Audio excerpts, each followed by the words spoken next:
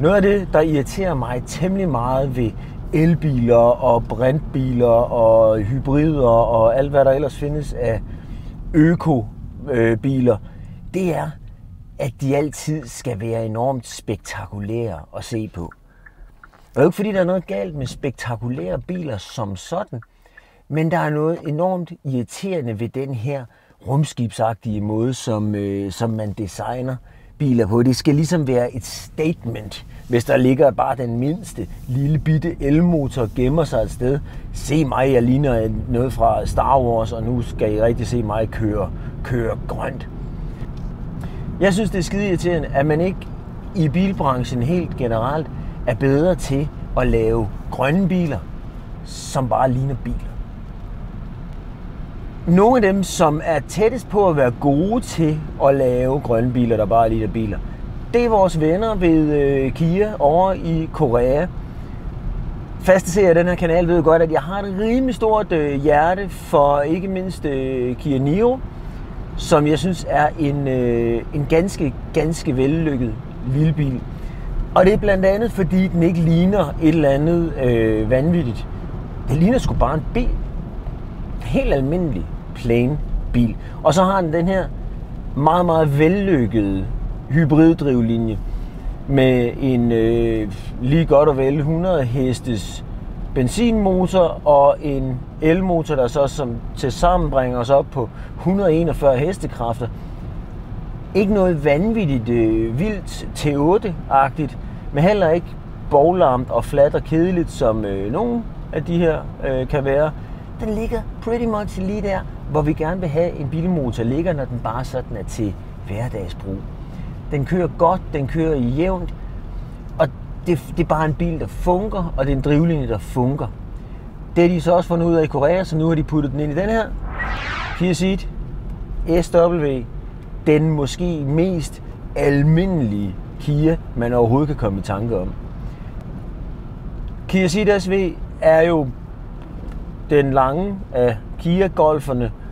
God plads bag i, en fornuftig størrelse bil, en på alle mulige måder sådan stille og rolig familie Kia. Og selvfølgelig skal der også være en hybrid i den her. Og hvor er det dog dejligt at sidde i en hybridbil, som ikke råber og skriger, at se mig, her kommer jeg, og jeg ligner en Toyota Prius, fordi at alle skal vide, at jeg er skide økologisk. Det ligner bare en bil. Den føles bare som en bil. Og den koster ikke engang specielt meget mere end en almindelig bil. Den koster fra 200 og nogle 50.000. Det er det, en Kia Ceed skal koste. Den kører godt. Det hele er, som det skal være. Det her er sådan, som man bør lave hybridbiler. Ikke alle mulige fikundik, ikke alle mulige lium larm. Der er ikke nogen grund til at råbe og skrige. Vi, har, vi er vant til nu, at biler godt kan have hybridmotorer. Det behøver ikke at hænge på sådan en stor banner bagud af bilen. Det var en Kia Ceed. Kia Ceed kender vi, den er der ikke sådan, så, så skrækkelig meget lium larm ved. Det er en koreaner golf på, øh, på godt og ondt. Med en fornuftig plads, rigtig fornuftig udstyrsniveau. Vi kører i topniveauet. Det koster 25.000 mere end bundniveauet. Der er ligesom de to at vælge imellem. Og øh, man får, man får sgu pretty much øh, alt, hvad man kan drømme om med her af sikkerhedssystemer, sensorer, automatgear. Jeg har endda fået et soltag med, det tror jeg nu ikke er standard i, øh, heller ikke i topudstyrsversionen. Adaptive fartpiloter, to-zone klimaanlæg und so weiter. Det kører. Det eneste sted sådan øh, designmæssigt, hvor jeg synes, at det er værd at lige holde fast i øh, siden i forhold til for eksempel Nion, det er øh, integrationen af infotainmentsystemet her foran, som bare ligger pænere i Nion. Det er en federe kabine, primært på grund af det. Fordi at den ligesom er arbejdet ind i. Her der står det sådan lidt af strider ud. Det er ikke, det er ikke min kop te, men det er, den, det er sådan, man gør det. Det er fordi skærmene bliver større og større. Så kommer de til at stride ud. Jeg synes bare ikke, det er pænt. Det er heller en lille skærm, der ligger flot. Prismæssigt der ligger øh, CDS SV pretty much øh, side om side med, med øh, Neon.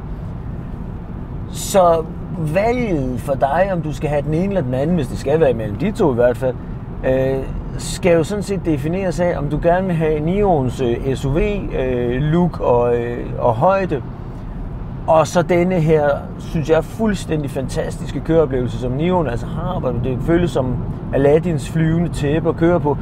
Det gør det ikke helt i siden. Den kører stadigvæk godt, men den kører ikke lige så fantastisk som Nion. Hvorfor skal du så vælge siden? Jamen, du skal vælge siden, hvis du godt kan lide tanken om at have rigtig, rigtig meget plads om bag i til øh, en, øh, en lørdag eftermiddag i Bilka, eller hvad man nu gør, når man øh, er nået til et vist sted i livet. Jeg synes, det er mega fedt at have den der plads. Man bare kan blive ved med at pakke, uden at skulle spekulere over det. Og det er et stort bagagerum, der er i, øh, i Seat SV. Og det, det, sgu, øh, det, det er dens primære, synes jeg, sammen med det her med højden, fordel. Altså det er, at det er sådan mere en klassisk familiebil.